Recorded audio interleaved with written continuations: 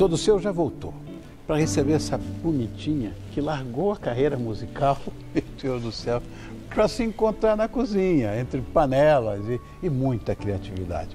Olha, ela venceu todas as pressões, levou a melhor no reality Hell's Kitchen, exibido lá pelo SBT no ano passado, e hoje está com a gente aqui. Boa noite, Cris. Cris Mota. Boa noite.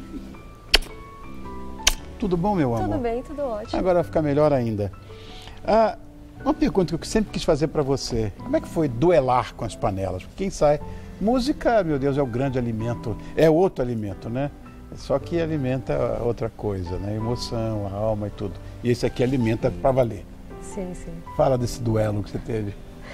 É, o comparativo entre a música e o, a gastronomia é a arte, né? Claro. É uma maneira de arte, mas assim, a parte da competição, ela é dura pelo confinamento, enfim, é, é pelas câmeras, por todo esse processo de um reality, né? Uhum. Mas com o tempo, a gente começa a se soltar e as coisas começam a fluir de uma maneira mais positiva. Olha lá, ó. Você lembra disso? Nossa, foi maravilhoso. Isso é noite única, nossa. Como é que você fazia com para lidar com essa coisa da pressão das gravações do dia a dia? Que... Fala. Olha, Você pensou muito, hein, Cris, para falar. a grande verdade era que diante o confinamento e aquele convívio, aquela loucura toda, aquela panela de pressão, muitas vezes eu me isolava. Eu sou uma pessoa assim na vida muito focada e um pouco mais tranquila. E quando eu me via muito acelerada com aquele movimento e ritmo, então eu tentava meio que sair de foco, né? Tá. Eu era uma maneira que eu tinha de tentar voltar em mim e seguir na competição que era bem dura, né? Tá vendo ali? Olha, olha o que tem de pistache. É pistache? Guilherme? Foi pistache. Esse foi o prato para disputa do terceiro para o segundo. É, corte alto, que eu adoro corte alto também. Gosto muito. Sensacional, não? Muito bom. Mas é uma pressão pavorosa. Meu Deus eu não teria... Não, eu não teria estômago para isso, não. É, ficar. Eu acho que o pior, assim, não era o, o fato de cozinhar, era realmente o confinamento. Mas, assim, a satisfação é enorme de ter ganhado um programa mundialmente conhecido Sim. e ser a primeira mulher a ganhar. Né? Ah. Aí foi a cereja do bolo, foi sensacional.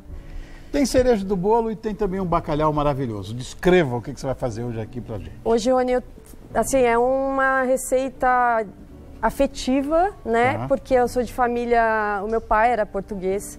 Então, assim, ele não me viu na profissão e foi até uma homenagem que eu fiz a ele no programa. Foi essa brandade de bacalhau, eu quis trazer o bacalhau como Sim. uma forma de home- homenagear e essa brandade ela deu muito certo. Eu criei, fiz no programa. Tá lindo, não era lá. É, e tem um crocante de batata doce, um creme de cebola, muito azeite, adoro um azeite, Também bom gosto. azeite. E pra, eu acho que finalizar sempre com uma boa sobremesa, tem uma verrine. Mas dá uma olhada nessa verrine aqui, olha que coisa mais, mais linda. Uma, uma verrine de verdade que é feita no, no, no cup de cocktail, né? Do, do dry É, martini, né? tinha que ser. E aí tem um creme de baunilha, uma ganache de chocolate meio amargo para quebrar o doce e um coulis de frutas vermelhas feito com vinho. Você é insuportável. Eu tenho uma barriga gigantesca, doido para perder e não consigo. É mesmo. E você faz isso comigo, enfim. Eu só quero, só quero agradecer a você por ter vindo. Vamos estar junto aqui. Eu quero agradecer muito a Cris Mota e queria que você dissesse o que, que eu tenho que fazer para te encontrar. Tem rede social, tem coisa assim?